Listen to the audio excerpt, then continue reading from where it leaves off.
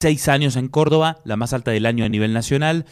Con ella vamos a hablar de cómo se traslada el consumo de la canasta básica. Hola Vanessa, ¿cómo andas? Víctor Zapata, ¿qué decís?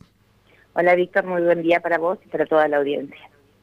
Eh, ¿Hay algún dato o algunos datos del trabajo que tienen ustedes, del que van realizando a menudo, eh, más fuerte o sorpresivo que otros?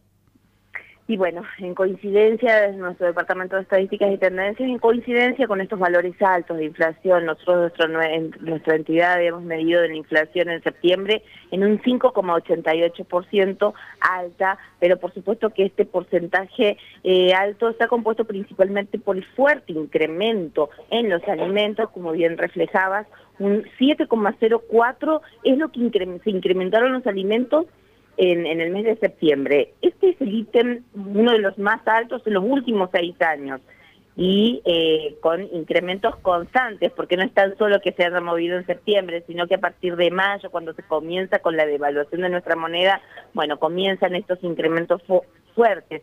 Tenemos un acumulado en estos últimos 12 meses ya del 44,6% de incrementos en los alimentos y eh, nosotros proyectamos ya para todo el 2018 un, incremento de los alimentos de canasta básica alimentaria cercano al 50%.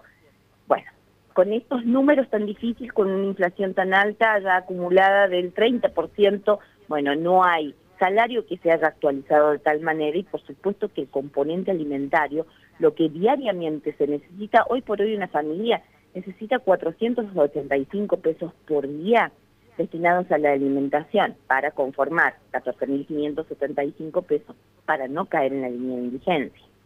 Números verdaderamente difíciles para muchas familias, sobre todo las que se están en el área informal, y bueno, los incrementos de los alimentos que ha sido constante, eh, porque los alimentos más indispensables, los alimentos irreemplazables, son los que han tenido los mayores incrementos estar hablando de los que son commodities, como el aceite, la harina, y bueno, por supuesto que también acá eh, vemos lo que antes dialogabas. Esta, son pocas las proveedoras de alimentos en la Argentina.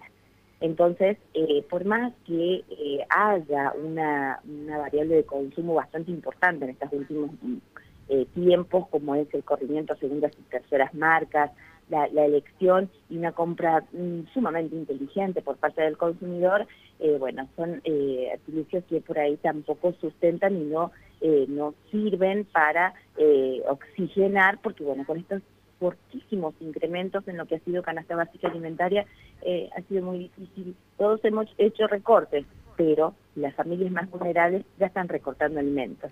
Y esa es la parte más dolorosa de los, detrás de los números.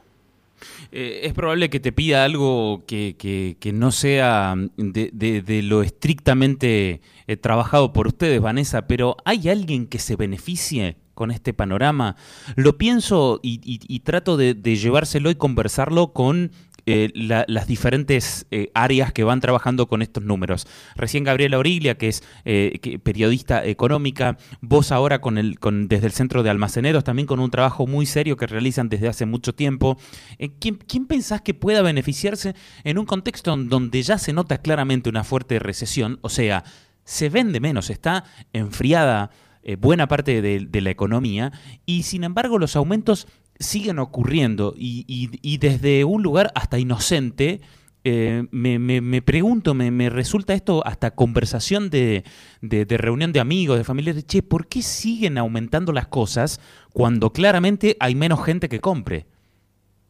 Bueno, ciertamente en todo momento de crisis hay claros beneficios, hay claros beneficiarios y ciertamente una parte del empresariado eh, se está beneficiando y mucho. Estamos hablando de los commodities que eh, cuando exportan, exportan en dólares y a esas empresas se les ingresa en dólares y también hay una eh, clara política de mm, no querer trabajar específicamente, al menos sobre una canasta básica alimentaria. Desde un inicio, desde nuestra entidad, compartíamos que el programa Precios Cuidados es una herramienta insuficiente. Pero bueno, hay uno ve activos de una política, si se quiere, en forma parcial del trabajo de los precios, porque con esa misma voluntad eh, donde se sentó con un empresariado a ponerse de acuerdo en algunos precios y en algunos productos para conformar un cierto listado que esté presente solamente en un lugar segmentado, en supermercados e hipermercados, acá no hay una clara voluntad de diálogo con ese mismo empresariado que es el proveedor de los alimentos, que por supuesto tampoco es tan cuantioso, no es tan mm. difícil sentarlos en una mesa de diálogo y trabajar al menos sobre productos indispensables. Hoy por hoy estamos hablando de que es imposible que muchas familias consuman leche, la leche fluida por su alto costo, pero bueno, aquellos que exportan la leche internacional están eh, con un dólar tan alto, están manejando muy buenos márgenes. Estamos hablando del aceite, que por supuesto hoy por hoy no tiene ningún tipo de subsidio, antes tenía un subsidio por parte del Estado, Hoy por hoy el argentino eh, lo paga igual que el de europeo, nosotros nuestros alimentos están dolarizados. Eh, y bueno, nuestros sueldos no lo están. Entonces, bueno, acá hay una clara política de no trabajar eh, en este Y bueno, acá es a, a, las claras esta recesión en el consumo, esta caída en consumo de productos esenciales. bueno, acá es principalmente, por supuesto, quien puede tener la competencia de sentar y entablar estas mesas de diálogos es por parte, por supuesto, del gobierno nacional y, bueno, claramente esta voluntad política eh, no, no está sucediendo. Vanessa, muchas gracias. Muy buen día. Muchísimas gracias, Víctor. Hoy a toda la vida. Gracias. Clarísima, como siempre, Vanessa Ruiz del Centro de Almaceneros. Eh, solo